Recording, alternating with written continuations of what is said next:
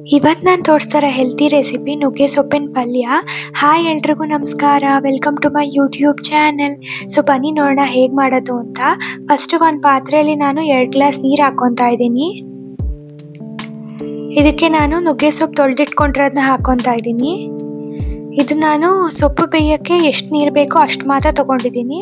So ಸ್ವಲ್ಪ ಜಾಸ್ತಿ ಆದರೂ ಏನು ತೊಂದರೆ ಇಲ್ಲ. ನುಗ್ಗೆ ಸೊಪ್ಪಿನ ನೀರನ್ನ ಕುಡಿಬೋದು. ಯಾಕಂದರೆ ಅದು ಆರೋಗ್ಯಕ್ಕೂ ತುಂಬ ಒಳ್ಳೆಯದು ಸೊ ಇವಾಗ ಸೊಪ್ಪು ಬೇಯ್ತಾ ಇದೆ. ಸೊ ನಾವು ಉಪ್ಪು ಫಸ್ಟೇ ಹಾಕೊಬಾರ್ದು, ಯಾಕಂದರೆ ಸೊಪ್ಪು ಕ್ವಾಂಟಿಟಿ ಜಾಸ್ತಿ ಕಾಣುತ್ತೆ. ಸೊ ಅದು ಸ್ವಲ್ಪ ಬೆಂದ ಮೇಲೆ ಕಡಿಮೆ ಆಗೋಗುತ್ತೆ. ಅವಾಗ ಸೊ ಅದರಿಂದ ಉಪ್ಪು ಜಾಸ್ತಿ ಆಗೋಗುತ್ತೆ. ಸೊ ಸ್ವಲ್ಪ ಬೆಂದ ಮೇಲೆ ಹಾಕೊಬೇಕು. ಸೊ ಉಪ್ಪು ಹಾಕೊಂಡೆ ಇವಾಗ ನಾನು. ಸೊ ನೀವು ನೋಡ್ಬೋದು ಕಲರ್ ಎಷ್ಟು ಚೇಂಜಸ್ ಆಗ್ತಿದೆ ಅಂತ. ಬೇಯ್ತಾ ಬೇಯ್ತಾ ಅದು ಲೈಟ್ ಕಲರ್ ಆಗುತ್ತೆ ಡಾರ್ಕ್ ಕಲರ್ ಆಗುತ್ತೆ. ಸೊ ಇವಾಗ ಆಗಿದೆ, ನೀವು ನೋಡ್ಬೋದು. ಸೊ ಇವಾಗ ಇದಕ್ಕೆ ನಾನು ಒಗ್ಗರಣೆ ಮಾಡ್ಕೊತಾ ಇದ್ದೀನಿ. ಇದಕ್ಕೆ ಎಣ್ಣೆ, ಸಾಸಿವೆ ಹಾಕೊಂಡೆ. ಸಾಸಿವೆ ಚಟ್ಲದ ಮೇಲೆ ಕಡಲೆಬೇಳೆ ಹಾಕೊಬೇಕು.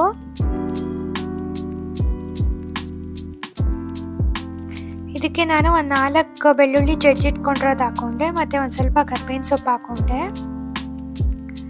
ಇದಕ್ಕೆ ಒಂದು ಈರುಳ್ಳಿ ಹಚ್ಚಿಟ್ಕೊಂಡಿರೋದು ಹಾಕೊಂಡೆ, ಸೊ ಈರುಳ್ಳಿ ಫ್ರೈ ಮಾಡ್ಕೊಬೇಕು.